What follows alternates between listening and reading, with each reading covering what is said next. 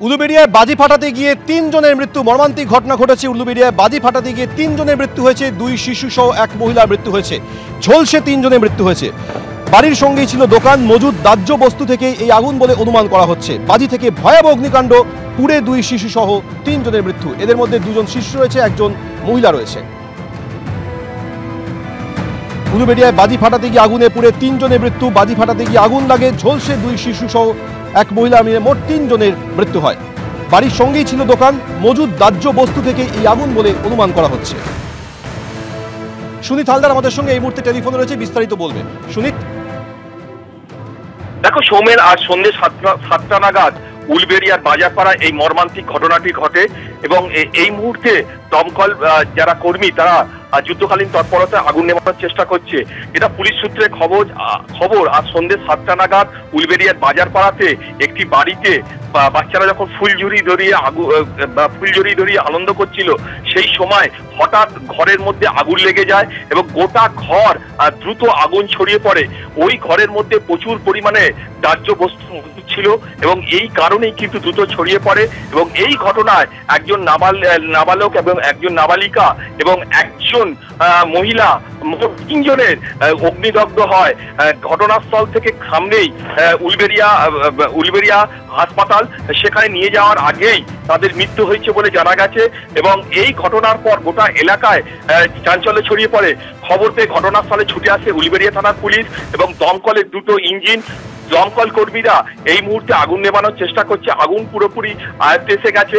কিন্তু এই মুহূর্তে শুধু দমকল বা পুলিশ নয় উলবেরিয়া পুরসভার চেয়ারম্যান সহ হ্যাঁ, যারা স্থানীয় বাসিন্দা তারাও কিন্তু ঘটনাস্থলে ছুটে এসেছে এবং তারাও আগুন নেভানোর কাজে হাত দিয়েছে। কি কারণে আগুন লাগল তা খতিয়ে দেখা হচ্ছে। প্রাথমিকভাবে মনে করা হচ্ছে বাজির থেকেই এই আগুন লাগে।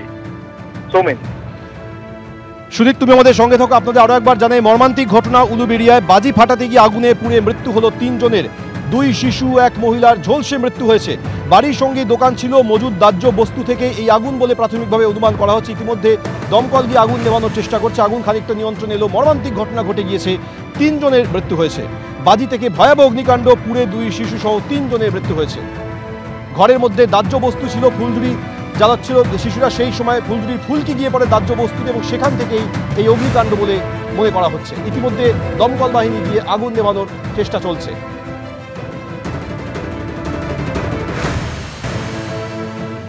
আমরা আবারও চলে যাব আমাদের প্রতিনিধি সুনীত হালদারের সঙ্গে। সুনীত, এই মুহূর্তের কি পরিস্থিতি?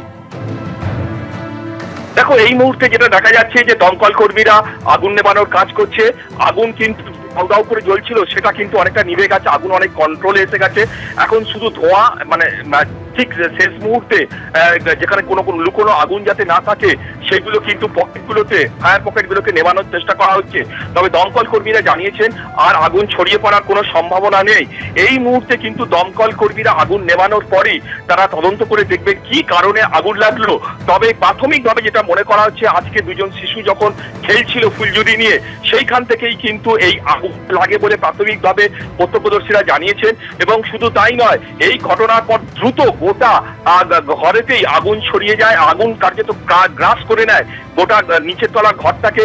এবং সেখানে একজন মহিলা এবং আরও একজন শিশু একজন নাবালক একজন নাবালিকা মোট তিনজনের মৃত্যু হয়েছে বলে জানা গেছে এবং কাছেই উলবেড়িয়া মহকুমা হাসপাতাল সেখানে নিয়ে গেলে চিকিৎসক তাদেরকে মৃত বলে ঘোষণা করে। এই মর্মান্তিক ঘটনার পরই ঘটনাস্থলে ছুটে এসেছে আহ, উলবেড়িয়া পুরসভার চেয়ারম্যান প্রশাসনিক কর্তারা এবং একই সঙ্গে পুলিশ এবং সময় ঘরের মধ্যে আগুন লেগে যায় এবং সেই ঘরে দাহ্য বস্তু ছিল বলে এতটা পরিস্থিতি ভয়াবহ আকার নেয় যার পরিণতি তিনজনের মৃত্যু। তোমাকে ধন্যবাদ সুনীত